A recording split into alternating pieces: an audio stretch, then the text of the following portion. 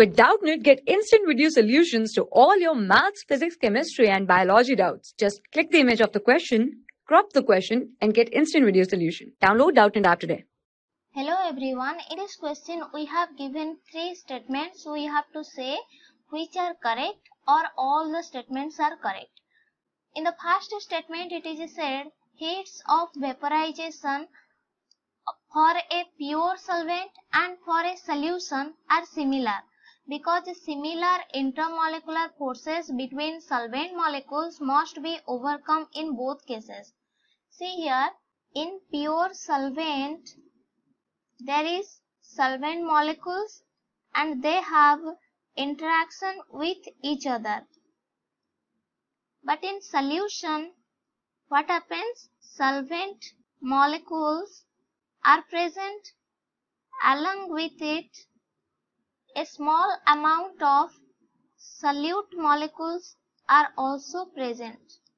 So there is interaction between solvent-solvent molecules here in pure solvent and in solution there is interaction between solvent-solvent molecules, solvent-solute molecules also but number of solvent molecules is more in solution.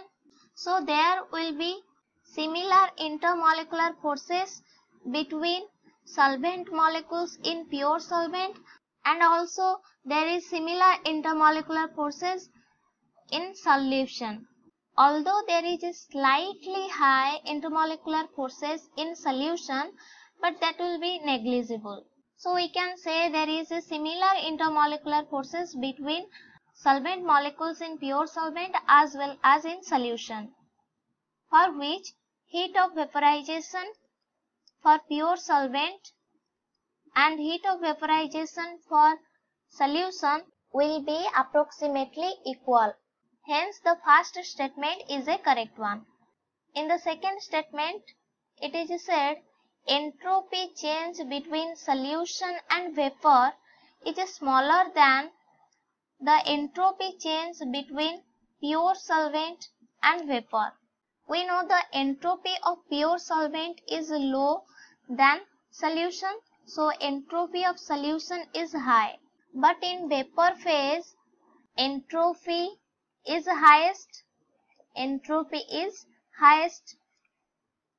So the difference of entropy of pure solvent and vapor phase will be higher than that of solution vapor phase because in solution entropy is already high but in pure solvent entropy is lower.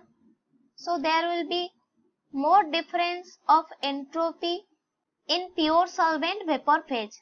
Hence entropy change between solution and vapor is smaller than the entropy change between pure solvent and vapor. This statement is also correct. The next statement is boiling point of the solution is larger than that of the pure solvent.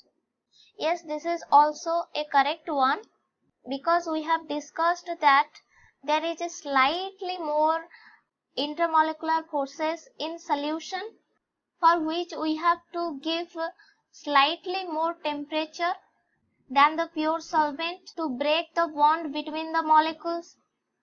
Hence, the boiling point of solution is slightly larger than the pure solvent. So, here we find that all the statements are correct. All the statements are correct. Hence, our answer is option 4. Thank you. For class 6 to 12, IIT JEE and NEET level. Trusted by more than 5 crore students. Download Doubtnut app today.